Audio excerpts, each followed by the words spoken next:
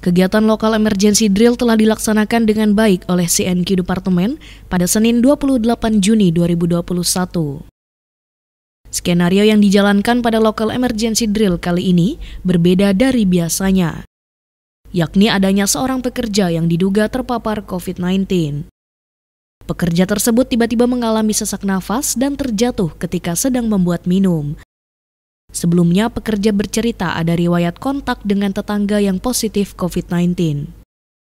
Pekerja dengan dugaan suspek COVID-19 ini segera mendapatkan pertolongan pertama oleh First Aider. OHIH spesialis pun turut dalam penanganan korban dengan menggunakan hazmat suit.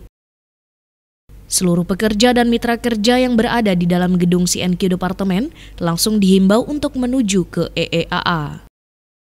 Tak lama petugas dari Rumah Sakit LNG Badak datang untuk mengevakuasi korban.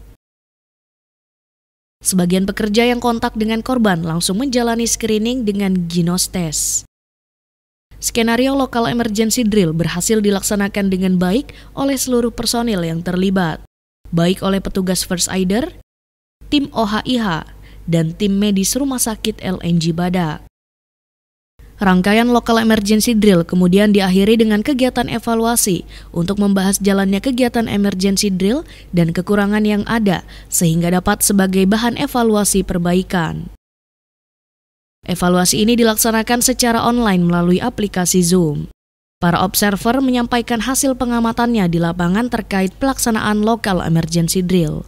Tujuan dari drill ini adalah untuk mengantisipasi atau menyiapkan jika kejadian sesungguhnya terjadi meskipun ini tidak kita inginkan dan juga menyiapkan kemungkinan-kemungkinan dan kesigapan dari seluruh tim yang ada di uh, Secure Departemen secara khusus maupun nanti untuk di PT Badak uh, baik itu dari warden, dari observer, dari petugas yang incas dan juga dokter yang ada di OHIH kita minta untuk melihat serta berpartisipasi aktif dalam kegiatan ini.